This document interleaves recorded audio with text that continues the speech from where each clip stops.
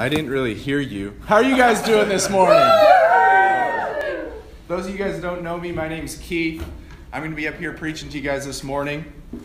So, if you've been with us for the past couple weeks, as I see a few of you haven't, we've been going through the book of Genesis. And so, this week, so the past two weeks, we've been talking about Abraham and the story of Abraham. And today, we're going to finish up and close out the story of Abraham. And if you were with us last week, Justin Tuulaulu was up here and he preached a lesson on Abraham. And one thing that I really got from that Jesus talked about was how easily we can lose our patience with God and want to take control. You know, because I can I can really relate to that.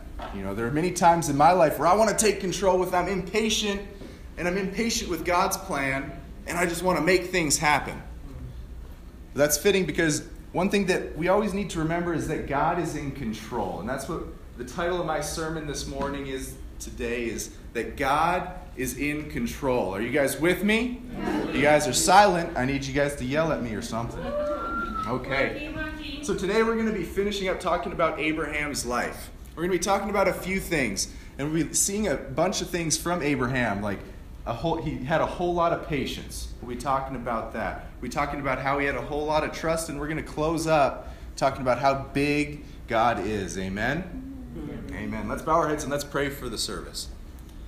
Dear God in heaven, just want to come before you this morning. God, thank you so much for bringing us all here together to worship you. God, thank you so much for being able to be up here to speak. God, I pray that you can be with each and every one of us. God, help us to be able to open our hearts, open our minds. God, help us to be able to learn something today that we can apply to our lives. God, that we can take some practicals away from this and that we can just be able to grow closer and stronger in our relationships with you. And God, I love you. I praise you. In Jesus' name I pray. Amen. All right. If you have your Bibles, you can open it up to the book of Genesis. We'll be there in just a minute. We'll be in chapter 17. But the first thing that I wanted to talk about this morning is that if we want to follow God, if we want to be disciples or Christians, it takes a whole lot of patience. It takes a whole lot of patience being a disciple of Christ. But before we jump in, I have a question for you guys this morning. Who here likes waiting for stuff? No. no. Who here likes waiting for something to happen? Waiting in line? Whatever it may be, I don't know. Well, if you're anything like me, the answer is probably no. You don't like waiting. I do not like waiting. There's something about waiting that the longer you wait, the more angry you get. now, I'm a nurse at a clinic, and it's very true with the patients. The longer they wait, the more angry they get. You know. And it's funny because like a couple days ago, my wife and I went to Sam's Club. We were checking out, and it was closing time. And so they're calling on, you have 15 minutes, go check out. And so we're, we go to the checkout, there's two lines. And we're like, you know what, we're smart, we're going to choose the shorter line. and so we get in the shorter line, and then there's the longer line over there. And we're just sitting there waiting, and we're waiting, and we're waiting. And then we see the other longer line, people who got in line after us coming through and walking behind us. We're like, dang it, like, oh my goodness. And the longer you wait, the longer I waited, the more critical I became. Like, why do you need that much toilet paper? and of course, you chose all the shirts that didn't have the tags on them. Oh, ah, you know, you get, I got so impatient, but, you know, we made it out alive, amen. We got, we got through. My point is that it can be very difficult to be patient at times, even with just little things like waiting in a line at a grocery store. But when we turn to the Bible, we look at Abraham's situation, we see a man who had to wait a long time for what God had promised him. We'll pick it up in Genesis 17. We'll read 1 and 2 and then 15 through 19. It says, Then Abram was 99 years old. The Lord appeared to him and said, I am God Almighty. Walk before me faithfully and be blameless. Then I will make my covenant between me and you and will greatly increase your numbers. Then he goes on, he talks about the covenant of circumcision. Then in verse 15 it says, God also said to Abraham, As for your wife Sarai, you are no longer to call her Sarai. Her name will be Sarah. I will bless her and will surely give you a son by her. I will bless her so that she will be a mother of nations. Kings of people will come from her.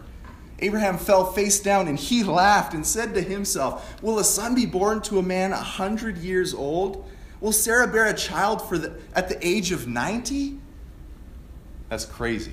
And Abraham said to God, If only Ishmael might live under your blessing. Then God said, Yes, but your wife Sarah will bear you a son, and you will call him Isaac, and I will establish my covenant with him as an everlasting co- covenant for his descendants after him. Wow. So Abraham was 99 years old when God reminded him what he was going to do with his generations. You know, imagine that waiting that long for something that you know you see all your relatives, all your friends getting. You know, God promised you that you were going to have a kid, but you don't have a kid. You're 100 years old, but all your friends have kids, grandkids, great grandkids. What's going on? Imagine trying to be patient through that. That'd be so difficult. You know, and now you're thinking it's too late because your wife's 90 and that's physically impossible. Right? I'm a nurse, I know. It doesn't work out. You know, it, it, and it says here that he even laughed because the idea of it was so crazy. He laughed and was like, Is this actually going to happen? You know, but Abraham was patient. Abraham waited and waited, and he waited some more. And, and when he was 100 years old, God finally gave him his son. We pick it up in Genesis 21 1 through 7. It says, Now the Lord was gracious to Sarah as he had said, and the Lord did for Sarah what had, he had promised. Sarah became pregnant and bore a son to Abraham in his old age. At the very time God had promised him, Abraham gave, it the name, gave him the name Isaac to the son Sarah bore him. When his son Isaac was eight days old, Abraham circumcised him as God commanded him. Abraham was a hundred years old when his son Isaac was born to him. Sarah said, God has brought me laughter, and everyone who hears about this will laugh at me. And she added, Who would have said to Abraham that Sarah would nurse children? Yet I have borne him a son in his old age. They were patient, they were insanely patient, and God blessed them. God blessed them with a son to create a nation. You know, I just think about this. Think about how long Abraham waited, and it makes me feel like the most impatient person ever. I couldn't wait in line for 15 minutes before getting critical, judgmental, and anxious. You know? Let's turn to, if you have a Bible, turn to Psalm 37. You know, but I think this is one big problem in the world we live in today. I think we've forgotten how to wait.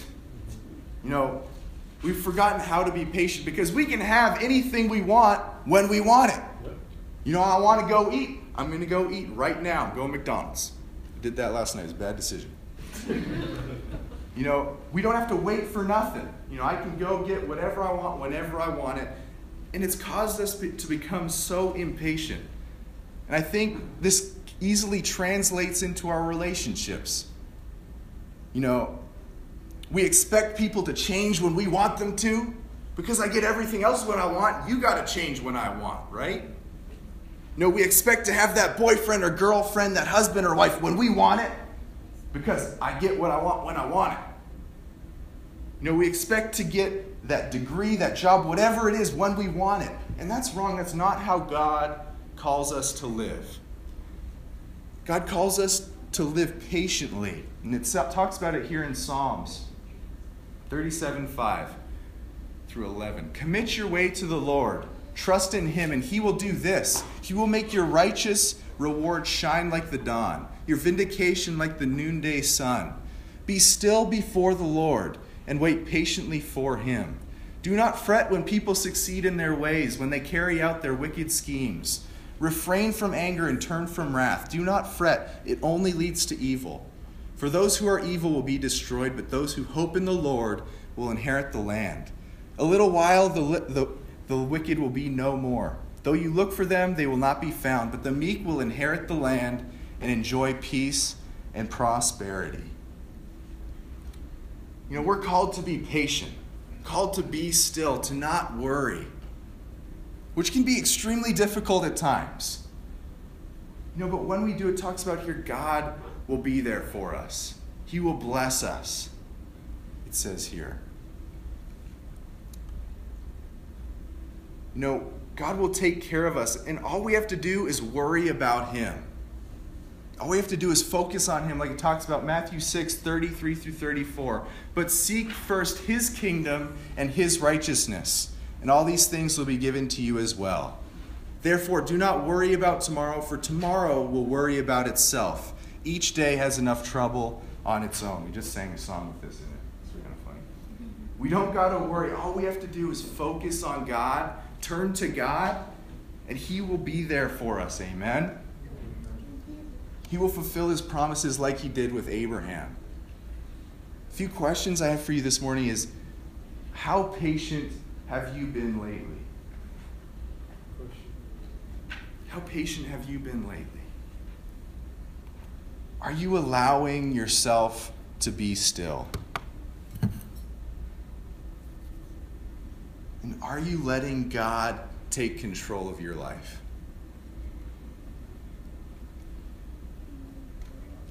You know, being patient is so important. It's important for us, it's important for our relationships. Nobody likes being around someone who's impatient. Yeah. It's no fun, it makes everybody uncomfortable. And when we're patient, God will take care of us because God is in control. God is in control. Okay, the next thing I want to talk about regarding Abraham is trust. And along with trust comes faith. And before we jump into our next story, I have another question for you guys. Who here's um, want, got, wanted something so bad, and then they finally got that something, and it didn't turn out to be what you had expected? All the time, right? It, it happens pretty often, right? Things don't turn out the way we expected them to. I want to share a little bit about my life. Growing up, I always wanted to get married. I knew that's what I wanted to do. And I glorified the idea of being married in my brain. Like, man, when I get married, my marriage is going to be perfect. There is going to be nothing wrong. I'm going to be the most happy person ever, all the time. Like, what could go wrong taking two people and making them one? I couldn't see anything going wrong with that. you know, it's kind of. and I, I, met my beautiful wife, Shailene, here. And uh, we decided to get married. And it was amazing, but goodness gracious, did it turn out differently than I had expected. you know, apparently when you get married, you disagree a lot. what? You know, apparently you disagree a lot more than you thought you were going to disagree. I think that rings true for both of us, right? Okay. you, know, you know, I didn't even know that, that all this would happen. You know, there's so many more hardships, fights, and tough times than I thought. But I wouldn't trade. I wouldn't trade you for anything. Let's turn to Genesis 22. I think this is how God works, though. He sometimes decides to give us the things that we want so badly, the stuff that we want so badly, so that He can use them to turn us back to Him. So that He can use those things to turn us back to Him. And he, we see that in the story of Abraham here. He gave Abraham what he wanted so badly, and He uses it to test him here. And we see in Genesis 22 1 through 14. Sometime later, God tested Abraham and said to him, Abraham, here I am, he replied. Then God said, Take your son, your only son, whom you love, Isaac, and go to the region of Moriah. Sacrifice him there as a burnt offering on the mountain I will show you. Early the next morning, Abraham got up and loaded his donkey. He took with him two of his servants and his son Isaac. When he had cut enough wood for the burnt offering, he set out for the place God had told him about. On the third day, Abraham looked up and saw the place in a distance. He said to his servant, Stay over there with the donkey, and I will go with the boy over there. We will worship, and then we will come back to you. Abraham took the wood from the burnt offering and placed it on his son Isaac, and he, car- and he, himself carried the fire and the knife. As the two men went on together, Isaac spoke up and said to his father Abraham, Father, Yes, my son, Abraham replied. The fire and the wood are here, Isaac said, but where's the lamb for the burnt offering? Abraham answered, God himself will provide the lamb for the burnt offering, my son. And the two of them went on together. When they reached the place God had told him about, Abraham built an altar there and arranged the wood on it. He bound his son Isaac and laid him on the altar on top of the wood. Then he reached out his hand and took the knife to slay his son. But the angel of the Lord called out to him from heaven, Abraham, Abraham! Here I am, he replied. Do not lay a hand on the boy, he said. Do not do anything to him. Now I know you fear God because you have not withheld from me your son, your only son. Abraham looked up, and there in a thicket he saw a ram caught by his horns. He went over and took the ram and sacrificed it as a burnt offering instead of his son. So Abraham called the place, The Lord will provide. And to this day it is said, On the mountain of the Lord it will be provided. Wow, this is a crazy story of trust and faith in God being in control. You know, God had given, given Abraham what he wanted, what he had promised him. He gave him a son. And God challenged him on this. He called him to go and sacrifice his son. That's crazy. You know, if someone asked me, I don't have a son, but if someone asked me, hey, Keith, go ask your son, I'd be like, you're crazy, and I'm not going to hang out with you anymore because that's weird. You know, but this was God saying this. And talk about things not turning out the way he had expected them to. Things did not turn out the way the direction that Abraham wanted them to go. So, what did he do? He didn't do what I would have done, which would have hidden Isaac in a safe place to never be harmed. No, he didn't do that. He listened to God and he obeyed him and trusted that God somehow, some way would work it out because God was in control. You I think there's two ways that we can respond when things don't work out the way we had hoped. You know, we can either turn towards ourselves, we can rely on ourselves, we can try to force it into being what we wanted it to be. We can be like, I worked for this, I deserve this, I made this happen. You know, or we could be like Abraham. We can trust in God, we can obey Him, and follow what God wants us to do. Turn all our efforts and strength towards Him. If you have a Bible, you can turn it to Proverbs 3. You know, when I found out that marriage wasn't the way I thought it was going to be, I could have responded, you know, the first way I talked about, became angry, tried to make it the way I wanted it to be, make it fit it into that perfect little box I had made it, made for it. But if I'd done that, my marriage would not look good. It'd be based upon me my marriage would be self focused and not giving it all. And that's not really what I wanted. That's not really what I want. But when I point my marriage towards God, when I realize that marriage wasn't necessarily made for me to be happy, but for me to be holy, I can do amazing things with my wife. We can show hospitality to people. We can serve others. We can work through our problems really well and do amazing things for God. Amen ultimately is so much better when we are focused on God. And that's why we're called to trust in God, like it talks about in Proverbs 3 5 through 6. Trust in the Lord with all your heart, lean not on your own understanding. In all your ways, submit to Him, and He will make your paths straight.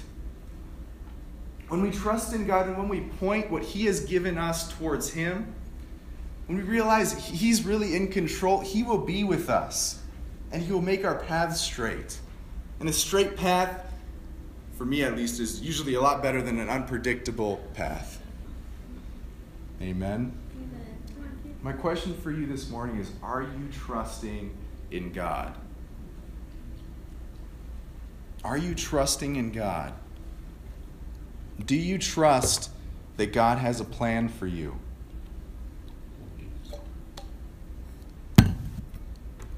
that He will take care of you, regardless of how things turn out or how they work out. This is, this is really difficult to do, especially when we want something so bad, when we want something to be a certain way. It's so important that we turn to God, that we trust in Him, like Abraham did when he was ready to give up his son. He was ready to give up his promise because God asked him to do that. And I think Abraham did this because he saw that God was so much bigger than him.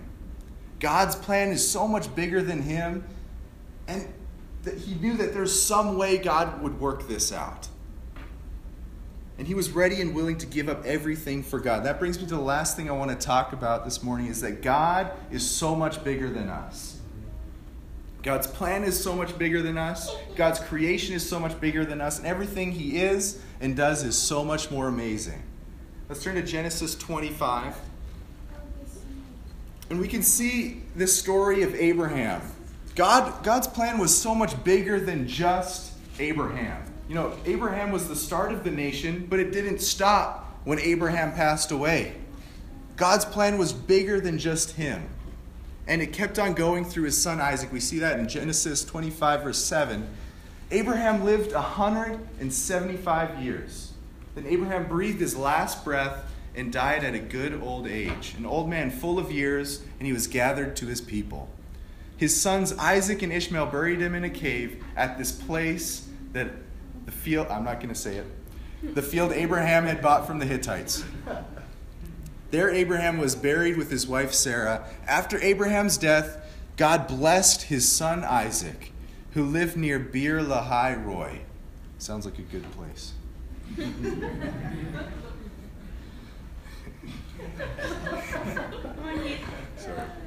You know, we see that Abraham lived to be super old. He's 175 years old.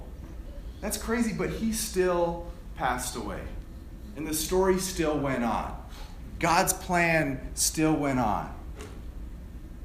God kept on going, and it says here that he moved on and he blessed Isaac. You know, I think we know in our heads that God is bigger than us. We are like, yeah, yeah, God's bigger than us. He created all this stuff. It's cool. That his plan is bigger than us. But when I think when it comes down to it, it's so easy to make this life all about us, all about me, what I want to do. It's so easy to become selfish and live for ourselves, make choices that only benefit ourselves. You know, when I study the Bible with people, I always challenge them on one thing. Whenever they're going to make a decision or a choice, however big or small, I challenge them to filter that decision through the question what would be the best choice for me spiritually? What would be the best choice for me spiritually? What would be the best decision for my walk with God? no matter how big or small the decision, it's, I think it's important to filter that through that question. Let's turn to James 4. You know, this is a really tough question to answer. Because a lot of the time, the best choice for me spiritually isn't necessarily what I want. The best choice for you spiritually doesn't always come with that job that you wanted so bad. The best choice for you spiritually doesn't always come with that boyfriend or girlfriend that you want so bad, that husband or wife that you want so bad, that degree that you want so badly.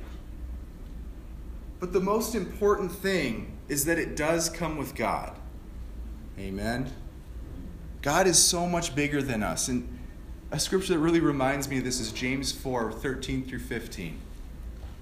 Now, listen, you who say, Today or tomorrow we will go to this city and spend a year there, carry on business, and make money. Why? You do not even know what will happen tomorrow.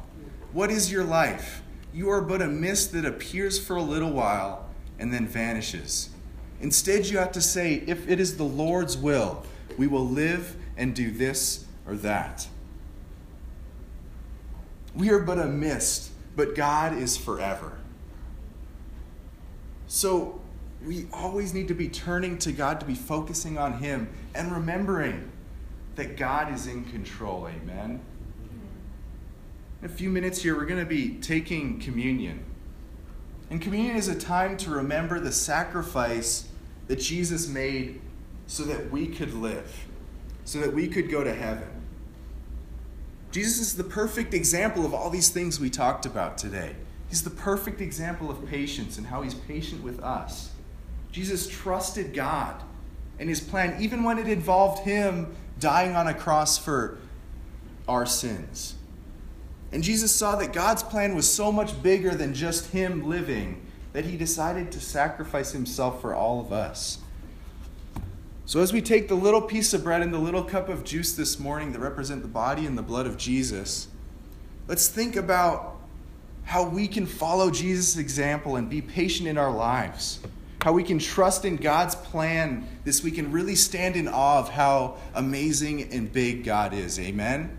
Let's bow our heads and let's pray for the body and blood of Jesus. Dear God in heaven, just want to come before you this morning, God, and thank you so much for sending your Son to die on a cross for my sins, God, for our sins, so that we could go to heaven to be with you. God, I pray that we can respond to your grace, God, that we can be patient, that we can trust in you and really stand in awe of you and your creation. God, I pray that you can be with us and help us to really glorify you with everything that we have. God, I love you. I praise you. In Jesus' name I pray. Amen.